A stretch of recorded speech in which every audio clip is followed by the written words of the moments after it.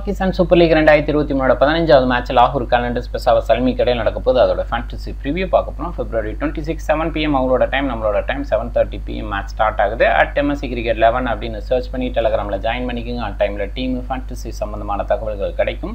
லாகூர் கேலண்டர்ஸ் அதே லெவனோட போகிறதுக்கான வாய்ப்பு அதிகமாக இருக்குது சாம் பில்லிங்ஸ் அண்ட் ஜோடான் காக்ஸோட அவைலபிலிட்டி இருக்குது சாம்பிளிங்ஸ் யூனிட்டோட ஜாயின் பண்ணியிருக்கார். டைரெக்டாக லெவனில் வரதுக்கான வாய்ப்பும் இருக்குது சாய் ஹோப்பை ரீப்ளேஸ் பண்ணார் அப்படிங்கிறது எதிர்பார்ப்பாக இருக்குது சாய் ஹோப்பு டீசென்ட் பிளேயர் இந்த ஃபார்மட்டில் ஸ்ட்ரைக் ரேட் லெவலில் கொஞ்சம் யோசிக்கிற மாதிரி பிளேயராக இருக்கனால சாம் பில்லிங்ஸ் உள்ளே வரதுக்கான வாய்ப்பு அதிகமாக இருக்குது ஃபக்கஸ் ஜமான் மிர்சா பைக் ஓப்பன் பண்ணுறாங்க ஜமானை பொறுத்த வரைக்கும் இன்னிங்ஸை பில்ட் பண்ணுறது ஸ்டெடி பண்ணுறது அப்படிங்கிறது நிறைய நேரம் பண்ணியிருக்காரு. அது தொடரும்னு எதிர்பார்க்கலாம். மிர்சா பைக்கு நல்ல பிளேயராக தெரிகிறாரு ஓரளவுக்கு டீசன்ட் ஸ்ட்ரைக் ரேட்டோட விளையாடுறாரு.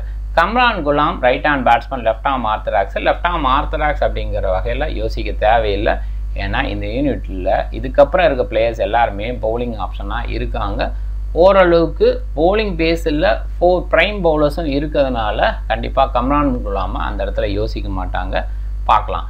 ஹுசைன் டாலெட்டு நல்ல பேட்ஸ்மேன் ஓரளவுக்கு டெக்னிக்கலாக ஸ்ட்ராங்காக யோசித்தா கூட ஆல்ரவுண்ட் பர்ஃபார்மன்ஸ் அப்படிங்கிற வகையிலையும் யோசிக்கிற மாதிரி இருந்தால் கூட நம்ம ஃபைவ்ல பேட்டிங்கில் வரதுனால பிக் இன்னிங்ஸ் யோசிக்கிற மாதிரி இருக்குது அண்ட் பவுலிங் பேஸ்லேயும் நிறைய ஓவர் கொடுப்பாங்களா அப்படிங்கிற இடத்துல இல்லைன்னு தான் சொல்லணும்.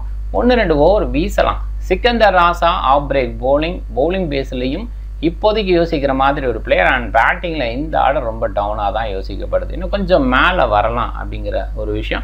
பட் யோசித்து பார்க்கும்போது மேலே அனுப்ப முடியாது. கம்ரான்குலாம் நம்பர் த்ரீ அந்த ஸ்டேஜில் நிறைய இறங்கி பார்த்துருக்கோம். அவரே நம்பர் ஃபோருக்கு வந்திருக்கார். சாய் ஹோப் ஓப்பனிங் பொசிஷன் நிறையா இருந்து பார்த்துருக்கோம். அவருமே டவுனில் தான் இறக்குறாங்கங்கும்போது சிக்கந்தர் ராசா இந்த பொசிஷனில் தான் இறக்கி ஆகணுங்கிற சூழல் இருக்குது எனிவே டீசெண்ட் ஆல்ரவுண்டர் டவுட்டே இல்லை.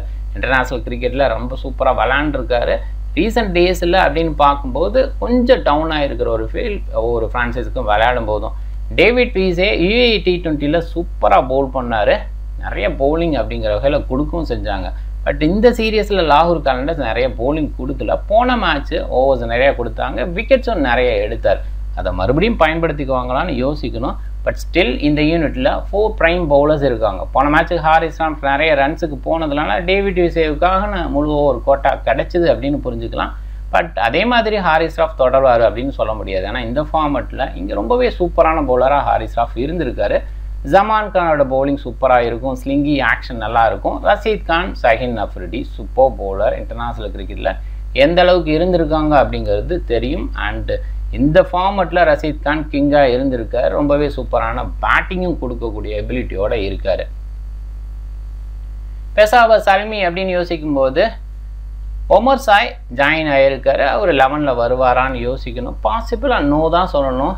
நல்ல ஆல்ரவுண்டர்ஸ் அண்டு பேட்ஸ்மேன்ஸ் இருக்காங்க ஓவர்சீஸ் அப்படின்னு பார்க்கும்போது DKC Rovman Powell Dasun Shanaka James Neesham middle ஒரு ஸ்டெடியாக யூனிட்டை வழி நடத்துறதுக்கு இருக்கிறதுனால ஒமர் சாயை பெருசாக யோசிக்க மாட்டாங்கன்னு தோணுது.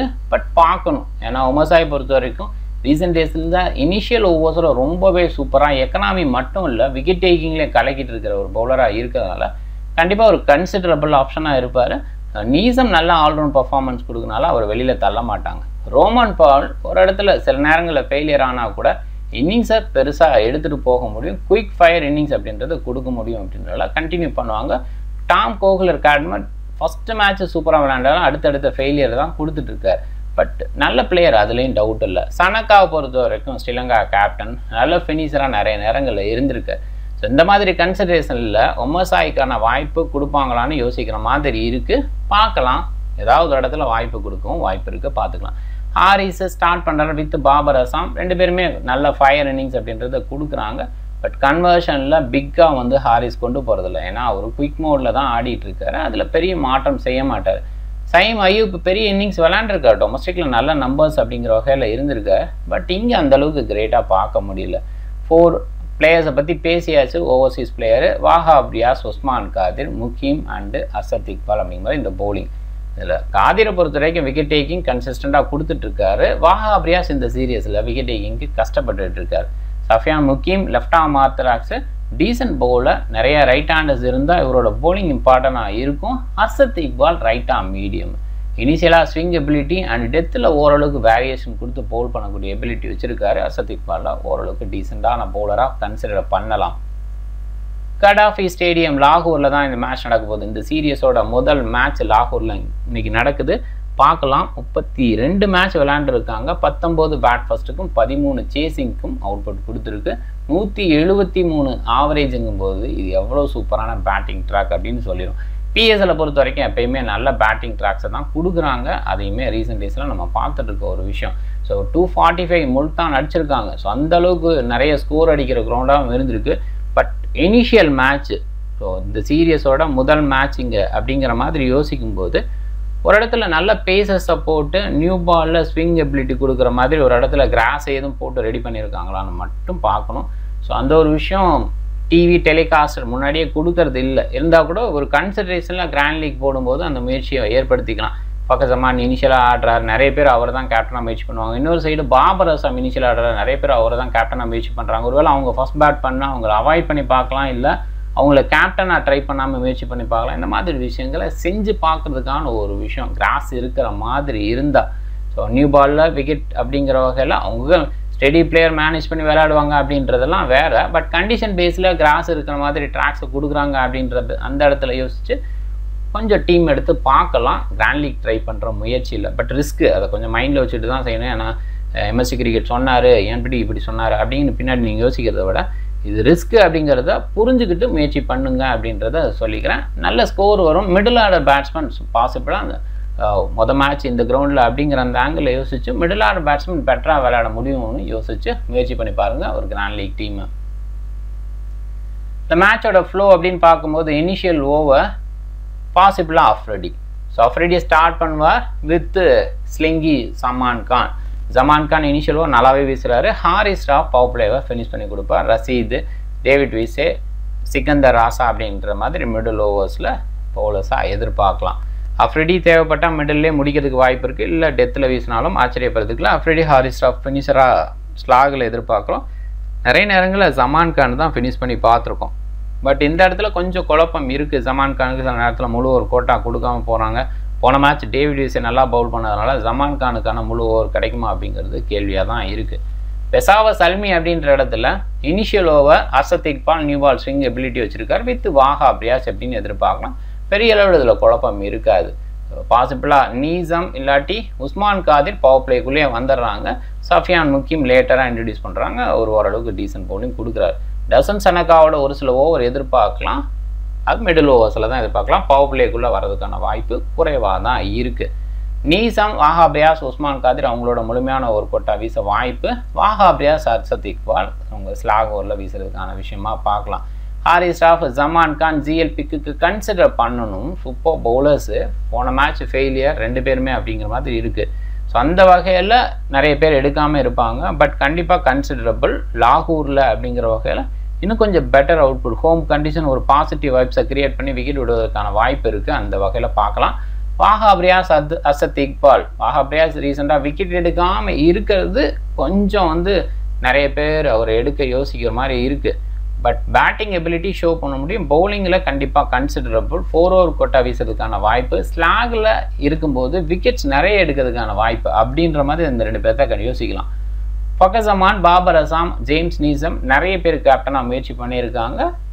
தப்பு இல்லை பட் நான் ஒரு இடம் சொன்ன அந்த ஒரு விஷயத்த கன்சிடர் பண்ணுங்கள் ஒரு இடத்துல இனிஷியல் கிராஸு நியூ பால் ஸ்விங்கு புது கிரவுண்டு இந்த சீரியஸில் அப்படிங்கிற இடத்துல யோசிக்கும்போது இவங்களை கேப்டன்லேருந்து அவாய்ட் பண்ணி பார்க்கலாம். பட் ரிஸ்க்கு அதில் டவுட்டே இல்லை.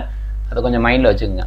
Shai Hope Afridi DKC consider பண்ணலாம். டிகேசி ஒரு பாயிண்ட்ல யோசிக்கும் போது ரஷீத் கானுக்கு எகென்ஸ்டாக என்ன பண்ணிடுவார் அப்படிங்கிற இடத்துல மட்டும் அடிப்படுறாரு கொஞ்சம் கஷ்டம் அப்படிங்கிற மாதிரி. ஏன்னா இதுக்கு முன்னாடி நிறைய meats Rashid Khan and Tom Kohler Cadmore இல்லை. ஒரே ஒரு மீட் தான் இருந்திருக்கு. அதில் அவுட்டெல்லாம் ஆகல. பதினோரு பாலுக்கு எட்டு ரன் அடிச்சிருக்காரு அப்படின்ற அந்த ஒரு விஷயம். கொஞ்சம் தடுமாற்றத்தோடு ஆடி இருக்கார் அப்படிங்கிற ஒரு விஷயம் இருக்குது பட் ஸ்டில் கொஞ்சம் டஃப்பான ஒரு விஷயம். ஒரு பெரிய த்ரெட் இருக்கும்போது அவரை கேப்டனை முயற்சி பண்ணுறது கொஞ்சம் கஷ்டம்னு சொல்லலாம். அஃப்ரிடி அண்டு சாய் ஹோப்பை யோசிக்கும்போது அஃப்ரிடி ஒரு இடத்துல considerable quick mode and new பாலில் ஸ்விங் எதுவும் கிடச்சி லாகூர் ஹோம் கிரவுண்டு இந்த மாதிரி ஒரு பாசிட்டிவ் வைத்தோடு போனால் அவரை முயற்சி பண்ணி பார்க்கலாம். கேப்டனாக வாகா பிரியாசை நிறைய பேர் யோசிக்கவே மாட்டாங்க. ஏன்னா ரீசெண்டாக விக்கெட்டே எடுக்கல அப்படிங்கிற மாதிரி இப்போ ஒரு எடுத்திருக்க பாயிண்ட்ஸ் கூட பேட்டிங்கில் கொஞ்சம் பாயிண்ட்ஸ் எடுத்த மாதிரி தான் எடுத்தார். ஸோ அந்த மாதிரி இருக்கும்போது யோசிக்க மாட்டாங்க. நாம ஏன் அப்படி ஒரு முயற்சி பண்ணி பார்க்கக்கூடாது? ஏன்னா நியூ பாலு ஒரு புது கிரவுண்ட் அப்படிங்கிற வகையில் எஃபெக்டிவாக இருந்தாருன்னா நல்ல ஒரு அவுட்புட்டு நமக்கு கிடைக்க வாய்ப்பு இருக்குது அதனால் ட்ரை பண்ணி பார்க்கலாம். கிராண்ட் லீக்கில் மட்டும்.